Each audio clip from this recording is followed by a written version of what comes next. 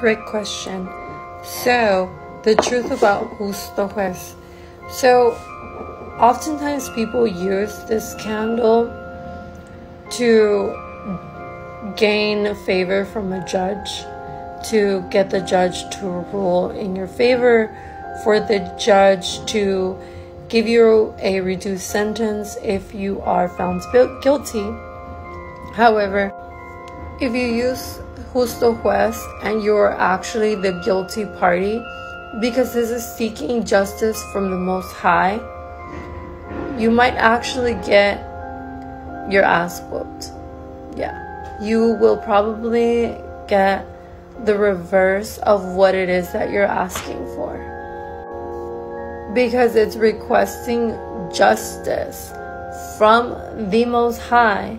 And if the Most High deems that you, if the Most High believes that you are indeed guilty and deserve to be punished, you will be punished. So, with that in mind,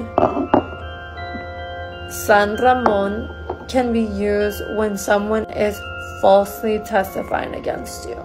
Say you're being tried and the DA is trying to press an issue that is going against the facts of the matter, you want to use a San Ramon.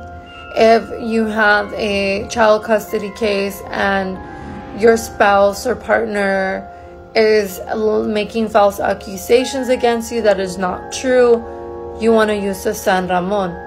You can also use a tapaboca together in conjunction with San Ramon. You could also use a justo juez and a San Ramon together you can also even you can also use a helping hand or the most powerful helping hand in in conjunction. Use all three together. It's actually better to use work candles in threes five sevens and elevens. I seldomly use one candle. I majority work in threes